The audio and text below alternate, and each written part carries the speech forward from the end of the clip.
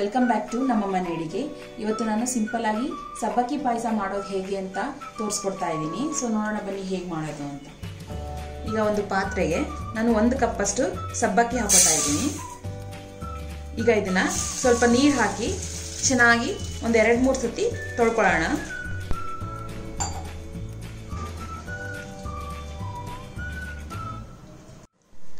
ನೋಡಿ, ಈಗ ನಾನು ಇದನ್ನ ಸುಮಾರು ಒಂದು ಎರಡರಿಂದ ಮೂರು ಸತಿ ಚೆನ್ನಾಗಿ ತೊಳ್ಕೊಂಡಿದ್ದೀನಿ. ಈಗ ಇದಕ್ಕೆ ಒಂದು ಕಪ್ಪಷ್ಟು ನೀರು ಹಾಕಿ ಸುಮಾರು ಒಂದು ಗಂಟೆ ಕಾಲ ಇದನ್ನ ನೆನೆಲಿಕ್ಕೆ ಬಿಡಬೇಕು. ಇದಕ್ಕೆ ಜಾಸ್ತಿ ನೀರು ಹಾಕೋಬಾರ್ದು, ಯಾಕಂದ್ರೆ ನಾವು ಇದನ್ನ ಪಾಯಸಕ್ಕೆ ಹಾಕುವಾಗ ನೀರು ಸಮೇತ ಹಾಕಬೇಕಾಗತ್ತೆ. ಅದಕ್ಕೋಸ್ಕರ. ಈಗ ನೆಕ್ಸ್ಟ್ ನಾವೊಂದು ಪಾತ್ರೆಗೆ ಒಂದು ಟೇಬಲ್ ಸ್ಪೂನ್ ಅಷ್ಟು ತುಪ್ಪ ಹಾಕೊಳ್ಳೋಣ. ಈಗ ತುಪ್ಪ ಸ್ವಲ್ಪ ಕಾದ್ಮೇಲೆ ನಾನಿಲ್ಲಿ ಡ್ರೈ ಫ್ರೂಟ್ಸ್ ಹಾಕೋತಾ ಇದ್ದೀನಿ. ಗೋಡಂಬಿ, ಬಾದಾಮಿ ಒಣದ್ರಾಕ್ಷಿ ಈಗ ಇದನ್ನ ಸ್ವಲ್ಪ ಫ್ರೈ ಮಾಡ್ಕೊಳ್ಳೋಣ.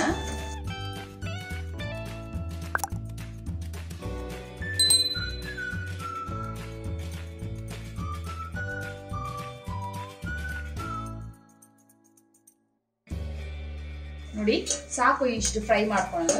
ಈಗ ಇದನ್ನ ಒಂದು ಸೆಪರೇಟ್ ಬೌಲ್ಗೆ ಎತ್ಕೊಳ್ಳೋಣ.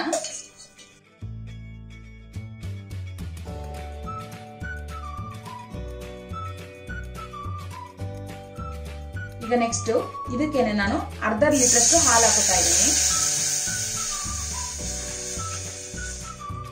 ಈಗ ಹಾಲು ಚೆನ್ನಾಗಿ ಕುದಿ ಬರಬೇಕು.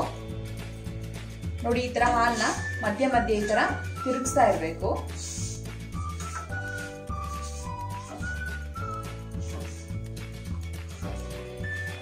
ಈಗ ಹಾಲು ಚೆನ್ನಾಗಿ ಕುದಿತಾ ಇದೆ. ಇದಕ್ಕೆ ನಾವು ನೆನೆ ಇಟ್ಕೊಂಡಿರೋ ಸಬ್ಬಕ್ಕಿ ಹಾಕೊಳ್ಳೋಣ ನೀರ್ ಸಮೇತ ಹಾಕೋಬೇಕು.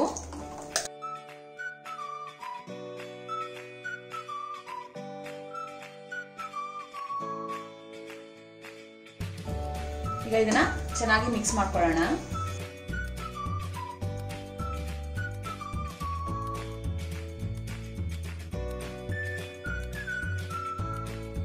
ಈಗ ಇದನ್ನ ಮೀಡಿಯಂ ಹೀಟ್ನಲ್ಲಿ ಸುಮಾರು ಒಂದು ಐದರಿಂದ ಹತ್ತು ನಿಮಿಷ ಸಬ್ಬಕ್ಕಿ ಬೇಯೋ ತನಕ ಚೆನ್ನಾಗಿ ಬೇಯಿಸ್ಕೋಬೇಕು. ನೋಡಿ ಈಗ ಸುಮಾರು ನಾನೊಂದು ಐದರಿಂದ ಹತ್ತು ನಿಮಿಷ ಮೀಡಿಯಂ ಹೀಟಲ್ಲಿ ಚೆನ್ನಾಗಿ ಬೇಯಿಸ್ಕೊಂಡಿದ್ದೀನಿ. ಸಬ್ ಇದು ನೋಡಿ ಈ ಥರ ಟ್ರಾನ್ಸ್ಪರೆಂಟ್ ಬರಬೇಕು. ಸೊ ಸಬ್ಬಕ್ಕಿ ಎಲ್ಲ ಚೆನ್ನಾಗಿ ಬೆಂದಿದೆ. ಈಗ ನೆಕ್ಸ್ಟ್ ಇದಕ್ಕೆ ಒಂದು ಕಾಲ್ ಟೀ ಸ್ಪೂನ್ ಅಷ್ಟು ಏಲಕ್ಕಿ ಪುಡಿ ಹಾಕೋತಾ ಇದ್ದೀನಿ. ಮತ್ತೆ ನಾವು ಫ್ರೈ ಮಾಡಿ ಇಟ್ಕೊಂಡಿರೋ ಡ್ರೈ ಫ್ರೂಟ್ಸ್ನ ಹಾಕೋತಾ ಇದ್ದೀನಿ. ಈಗ ಇದನ್ನೆಲ್ಲ ಚೆನ್ನಾಗಿ ಮಿಕ್ಸ್ ಮಾಡ್ಕೊಳ್ಳೋಣ.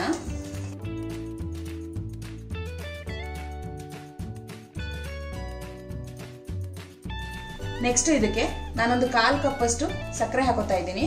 ನಿಮಗೆ ಸ್ವೀಟ್ ಜಾಸ್ತಿ ಬೇಕಂದ್ರೆ ಸ್ವಲ್ಪ ಹೆಚ್ಚಾಗಿ ಹಾಕೋಬಹುದು ಈಗ ಇದನ್ನೆಲ್ಲ ಚೆನ್ನಾಗಿ ಮಿಕ್ಸ್ ಮಾಡೋಣ.